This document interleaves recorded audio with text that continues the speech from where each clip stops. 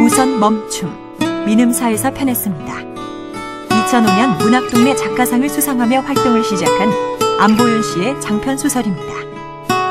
성추행 상습범인 가장, 불륜을 일삼는 엄마, 원조 교제로 낙태를 경험한 딸, 등교를 거부하는 아들, 영아 살해 유기범 상담 교사와 불법 낙태 시술사, 회생 불능 상태에 놓인 가족과 개인의 괴물성을 세밀한 묘사로 그려낸 신간입니다.